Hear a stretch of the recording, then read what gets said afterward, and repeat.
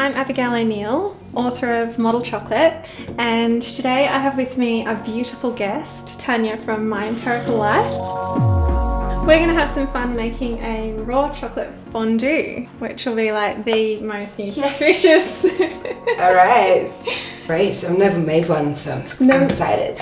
well, to get started, all we need to do is pour in some boiling water into this bowl. Just pour that in without splashing you. There we go. Okay. And so we're going to ha have that sitting there and we'll sprinkle in some cacao butter. Goes in. And that's the base for the raw chocolate. That's just the beautiful, the good fats from the raw cacao. It's melting. Yeah.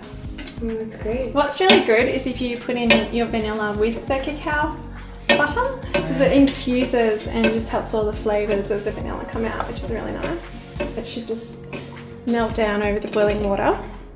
It's all melted. Yeah, I did a good job. Yeah, huh? very good. I'll take that away. I think it's the Bain Marie's good job. So now we can whisk in some macadamia butter. Mm, That's really delicious. So creamy. Yeah. So I noticed on your blog you have like this awesome new section, Kitchen Couture. I just had this idea with a friend to um, sort of do a tongue-in-cheek, um, you know, beautiful recipes, but then also, you know, super high-end fashion and Yeah. jewelry, and they both also are just so visually amazing.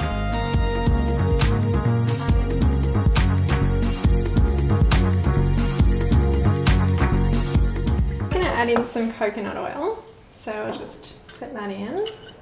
And that'll make it all even more creamy and delicious. Yum. Um, we have some sweetener. And of course, syrup. coconut oil is all good fats. It is all good So fats. good for you. That's right. It actually boosts your metabolism. Yeah. So you're gonna, you know, stay even more in shape. Yum. Um, and then we have some raw cacao powder. Now, I've also brought cacao liquor, which is amazing. Ooh. This is like cacao beans just mushed up, and Wow. none of the the cacao butter taken out of it, and none of the powder taken out of it. So it's just like amazing. yeah, it's It's just quite hard, isn't it? it's like a lump of chocolate right How do you melt that? Yeah, so you just crumble it like Oh, wow. yeah, just That crumbles it really easily. Yeah, and so you can actually melt that down into this if you want it to be even more rich and Tastes so kind of like bitter, but Yeah. like, but not as full on. Yeah, that's Yeah. right. I actually like that in here, but I'm making it like this today to show you how easy this is. And Right. cacao butter is a lot more easy to find, so you can just base it fully on the cacao butter. Now we've got raw cacao powder going in, which is gonna be the end of the ingredients. yeah. Oh, so wow. That's all of our ingredients, and then we can just whisk it all together.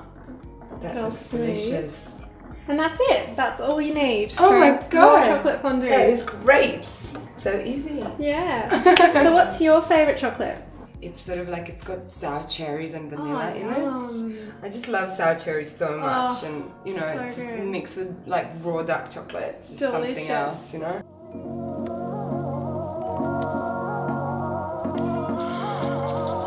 Moved over to the lounge where we're going to indulge in our fashionable fondue.